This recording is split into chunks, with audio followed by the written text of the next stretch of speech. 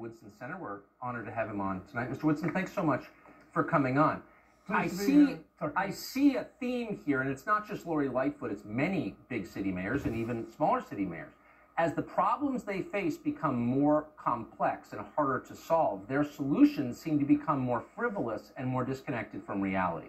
Have you noticed this?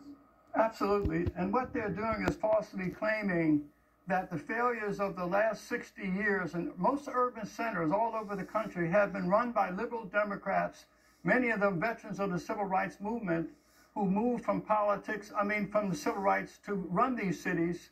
They also had uh, to spend about $22 trillion on poverty money in these cities. And, and as a consequence, all of these inequities that they are talking about have been done on their watch.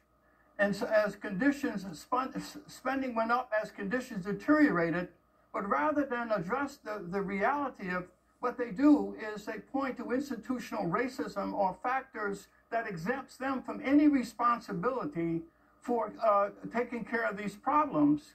And now the, the white left is coming in and exploiting this, this disparity and using it to really decimate this country. And the collateral damage in it are the lives of poor blacks in these cities because what the left is doing is vilifying the police as, as, as agents of white supremacy. And the more they are, the less aggressive they are about enforcing laws, the more the rate, the murder rate rises. What black, low-income blacks are facing is not bigotry or institutional racism. It is systematic neglect and abandonment and treasonous behavior. Bigotry is not their biggest challenge. It's treason.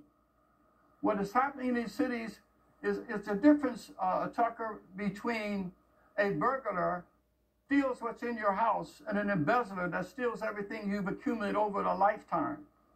And what black America is being uh, stolen is their history of how they resisted and overcame oppression, and that's being wiped away. Chicago used to be the black, the black Wall Street in segregation. In 1929, there were 731 black-owned businesses. There were 100 million in real estate assets at a time when, when segregation was law. And so you can't blame institutional racism or systematic racism or, or legacy of slavery for the failures. These are, this has occurred precisely uh, as the civil rights leaders became leaders of these cities. So Lori Lightfoot would tell you, and, and again, it's not just Lori Lightfoot by a mile, it's so it's virtually every one of these mayors, that she cares so deeply about the poorest people in her city. Should we believe that? Absolutely not. I mean, and and I believe, Tucker, that the salvation of this country may sound odd, are going to be that sleeping giant when low income blacks wake up and realize that they're being bamboozled and hustled and scammed by people like Lori Lightfoot and others, they are going to realize that the, they must address the enemy within because the left derives its moral authority as being the legitimate representatives of the poor.